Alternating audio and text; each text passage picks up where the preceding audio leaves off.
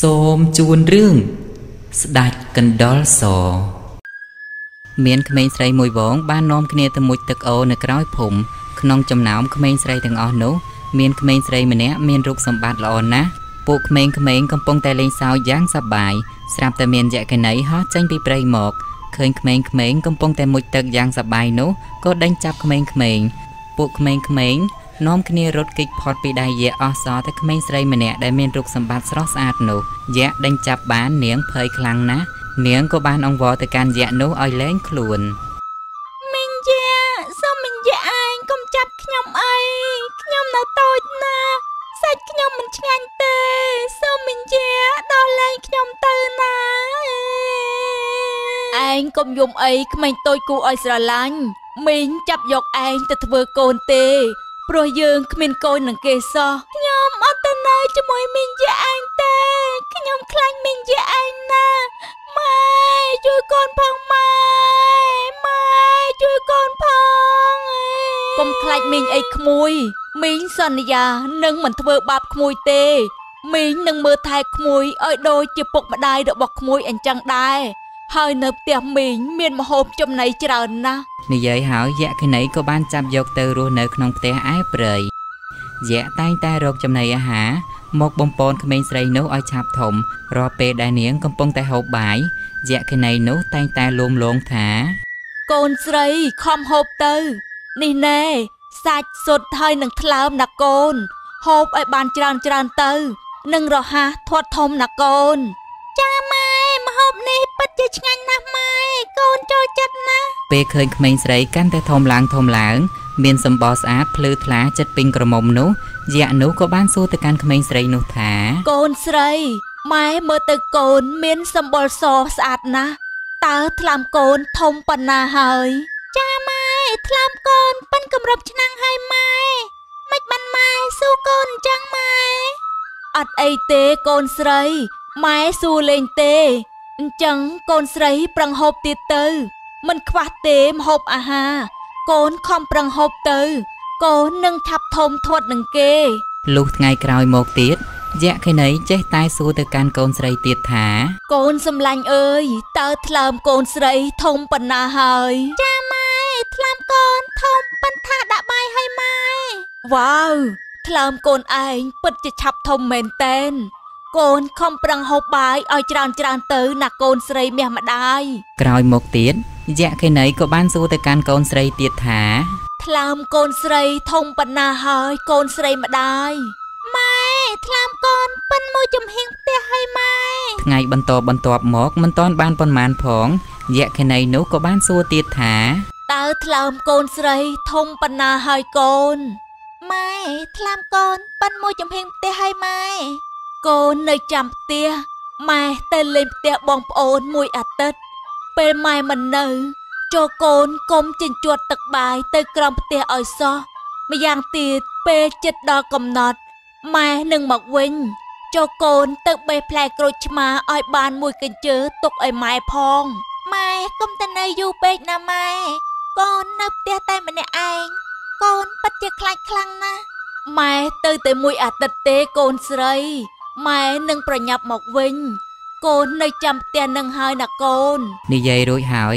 យក្សស្រីក៏បានហោះចេញទៅបាត់ទៅទុកឲ្យកូនស្រីនៅផ្ទះតែម្នាក់ឯងយ៉ាងកំសត់ពេលយក្ខិនីចេញទៅផុតបានមួយយប់កូនស្រីនោះក៏បានដាំបាយរិចគេប្រឹងសង្កត់ជាត់ទឹកបាយទៅក្រោមផ្ទះពេលនោះក៏មានស្ដេចកណ្ដោសមួយបានចេញមកក្មេងស្រីនោះក៏បានដេញវាយវា តែកណ្ដោសនោះក៏បានស្រែកថា ប៉ុន្មានថ្ងៃទៀតយ៉ាងនឹងនាំបងប្អូនវាមកស៊ីអ្នកឯងហើយម្យ៉ាងទៀតបណ្ដាំដោយវាផ្ដាំឲ្យអ្នកបេះផ្លែក្រូចឆ្មាមួយកញ្ជើនោះគឺវាទុកសម្រាប់ធ្វើទឹកជ្រលក់គ្រឿងក្នុងនិងសាច់របស់អ្នកពេលមេយៈមកវិញវានឹងស៊ីសាច់របស់អ្នកមិនខានឡើយម៉ែនអីសូមកណ្ដុលឯងជួយខ្ញុំផងខ្ញុំមិនបានដឹងទេថាម៉ែយៈរបស់ខ្ញុំគាត់ចង់ស៊ីសាច់ខ្ញុំមិនអីទេចាំខ្ញុំជួយ តែយ៉ាងវាប្រាប់ថាទៅប៉ុន្មានថ្ងៃដែរគាត់ប្រាប់ថាគាត់ទៅតែ7ថ្ងៃទេគាត់នឹងមកវិញហើយ តែយើងត្រូវធ្វើដោយម្ដេចទៅកណ្ដុលសខ្ញុំពិតជាខ្លាចខ្លាំងណាស់ចឹងខ្ញុំត្រូវតែខំប្រឹងកាយរងទាំងយប់ទាំងថ្ងៃដើម្បីរំដោះនាងឲ្យផុតពីសេចក្តីស្លាប់នាងកុំភ័យខ្លាចអីចាំខ្ញុំជួយនាង ស្ដេចកណ្ដោសបានហៅកូនឲ្យមកជួយកាយរងជាបន្ទាន់ព្រោះនៅសល់តែ5ថ្ងៃទៀត នឹងត្រូវដល់ពេលវេលាយក្ខិនីវិលត្រឡប់មកវិញហើយ ពួកគេប្រឹងកាយរងរហូតដល់ភូមិអ្នកស្រុកនៅ5ទៅ6ហើយបានបេះផ្លែក្រូចឆ្មាទុកដាក់ឲ្យយក្ខិនីមួយកញ្ជើបន្ទាប់មកស្ដេចកណ្ដោសក៏បានបញ្ជាកូនចៅឲ្យចាប់ឃ្មុំនិងអូម៉ាល់យកទៅដាក់ក្នុងផ្ទះយក្ខិនីរួចហើយក៏បិទទ្វារមិនឲ្យសត្វណាហែលចេញចូលបានឡើយពេលរួចកិច្ចការអស់ហើយស្ដេចកណ្ដោសបានប្រាប់ទៅនាងស្រីនោះ ឲ្យទៅមុជទឹកអណ្ដូងមាសអណ្ដូងប្រាក់របស់យក្ខិនីនោះព្រោះដើម្បីឲ្យនាងមានសម្បល់ភ្លឺស្អាតល្អលុះមុជរួចហើយកណ្ដោសក៏បានប្រាប់ឲ្យនាងតោងកន្ទុយគេនិងចូលតាមរោងដែលគេបានកាយនោះរហូតដល់ស្រុកអ្នកភូមិកណ្ដោសក៏បានទុកនាងស្រីឲ្យស្នាក់នៅនៅក្នុងភូមិនោះជាមួយនឹងអ្នកស្រុកហើយគេក៏បានរត់ទៅមើលយក្សនិងបងប្អូនវាវើមកដល់ផ្ទះវិញពេលយក្សមកដល់មុខទ្វារផ្ទះក៏ស្រែកថា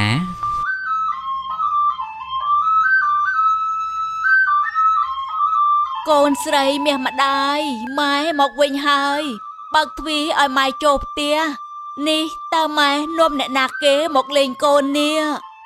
យក្ខិនីហៅកូនស្រីតែគ្មានអ្នកឆ្លើយយក្សឮសំឡេងយំងងងងយក្សក៏លួងថាកូនកុំយំម៉ែមានទៅយូរឯណា គឺទៅតាមថ្ងៃកំណត់ដែលម៉ែប្រាប់កូននឹងហើយបើកទ្វារឲ្យម៉ែទៅណាកូនស្រីវានៅតែមិនទាន់បើក យក្សនិយាយបណ្ដាលយកដៃបំរុងទាញទ្វារបណ្ដាលហើយក៏និយាយថា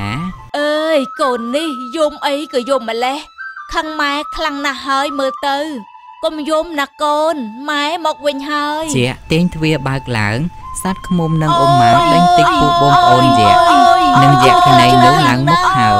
យក្ខិនីខឹងនឹងនាងស្រីជាកូនខ្លាំងណាស់ អាកូនចង្រៃបើយើងរកឯងឃើញអញនឹងស៊ីឯងមិនខានស្ដេចកណ្ដោសដែលនៅចិត្តនោះក៏បានសើចយ៉ាងសប្បាយហើយក៏និយាយបញ្ឈឺឲ្យយក្សថា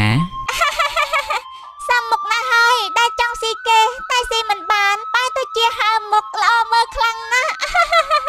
យក្សខឹងណាស់ក៏បានរត់វាយកណ្ដោសកណ្ដោសវារត់ចូលគុំឫស្សីយក្សប្រឹងរត់យ៉ាងលឿន ក៏ជ្រកខ្លួនទៅជាប់នៅក្នុងគុំឫស្សីទៅយក្សក៏បានសូមអង្វរកណ្ដោសឲ្យជួយផងអូយអូយជាប់បាត់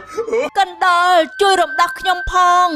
ខ្ញុំជាប់ក្នុងគុំរស័យនេះហើយ ជួយខ្ញុំផង ជួយខ្ញុំផងខ្ញុំមិនទៅជួយឯងទេឯងនាំគ្នាស៊ីតែសាច់មនុស្សអញ្ចឹងនោះអញមិនទៅជួយឯងឡើយកណ្ដោសអក៏បានរត់ទៅភូមិបាត់ទៅ នាងស្រីចាប់ពីថ្ងៃនេះតទៅនាងនិងអ្នកភូមិមិនចាំបាច់ខ្លាចទៀតទេ ព្រោះគ្មានយក្សមករកតាមស៊ីមនុស្សទៀតឡើយតើនាងដឹងទេយក្សវាបានជាប់ភងខ្លួននៅក្នុងគុំឫស្សីហើយវាហៅខ្ញុំឲ្យជួយវាដែរតែខ្ញុំមិនជួយវាទេព្រោះវាប្រព្រឹត្តតែអំពើអាក្រក់យក្សនោះប្រកាសជាស្លាប់មិនខានឡើយយ៉ាងយូរ3ថ្ងៃទៀតសាច់វានឹងរលេះរលួយពួកក្អែកថ្មាតមកស៊ីវាមិនខាន ដូច្នេះចូននាងទៅរស់នៅជាមួយខ្ញុំទៅខ្ញុំសូមនាងធ្វើជាកូនថ្លែងអំពីកំឡោះម្នាក់នេះវិញ ដែលធ្លាប់បានឃើញនាងស្រីនោះ កាលពីរស់នៅជាមួយនឹងយក្សគេបានចាប់អារម្មណ៍លួចស្រឡាញ់នាងយ៉ាងខ្លាំងតែគេមិនហ៊ានចូលសួរនាំចិត្តនាងទេព្រោះតែខ្លាចយក្សនោះឥឡូវនេះគេរឹតតែការទុកយ៉ាងខ្លាំងទៀតហើយព្រោះមិនបានឃើញនាងសោះថ្ងៃមួយ គេបានទៅបរបាញ់សត្វនៅឯក្នុងព្រៃដើម្បីយកមកធ្វើម្ហូបពេលនោះគេក៏បានជួបនឹងស្ដេចកណ្ដោសបរោះនោះក៏បានជូនសត្វមួយទៅស្ដេចកណ្ដោសស្ដេចកណ្ដោសក៏បានសួរមកកាន់អ្នកកំឡោះនោះថាអ្នកកំឡោះឯងមានបញ្ហាអីមើលទៅឯងស្គមស្គាំងខ្លាំងម្លេះសល់តែស្បែកនិងឆ្អឹងអញ្ចឹងខ្ញុំពិតជានឹកនារីម្នាក់នោះខ្លាំងណាស់សពថ្ងៃមិនដឹងថានាងទៅរស់នៅឯណានោះទេ នាងមិនដែលឲ្យខ្ញុំឃើញសោះកណ្ដោសក៏បានសោចហើយក៏បានដើរចេញពីអ្នកកំឡោះនោះទៅបរោះនោះក៏បានដើរចេញទៅផ្ទះវិញដែរលុះដល់ស្អែកឡើង គេបានទៅបរបាញ់សត្វបានមួយទៀតគេបានយកទៅឲ្យស្ដេចកណ្ដោសជាបន្តបន្ទាប់អ្នកកំឡោះនោះតែងតែឡើងចុះឡើងចុះផ្ទះស្ដេចកណ្ដោសព្រោះគេដឹងថា នាងដែលគេបានលួចស្រឡាញ់នោះបានទៅរស់នៅជាមួយនឹងស្ដេចកណ្ដោសនោះហើយណាមួយ គេក៏អាចបានសាសងជាមួយនាងដែរកកំឡោះនោះតែងតែយកសាច់ដែលបាញ់បានមកធ្វើម្ហូបនិងហូបជាមួយនឹងស្ដេចកណ្ដោសយ៉ាងឆ្ងាញ់ជាមួយគ្នា ចំណែកនាងស្រីចេះតែរត់គេចពួនមិនឲ្យកំឡោះនោះឃើញឡើយដោយឃើញអ្នកកំឡោះនោះស្រឡាញ់នាងជាកូនស្រីពេកស្ដេចកណ្ដោសក៏បានទៅនិយាយបញ្ចុះបញ្ចោឲ្យកូនស្រីយកព្រមស្រឡាញ់កំឡោះនោះទៅ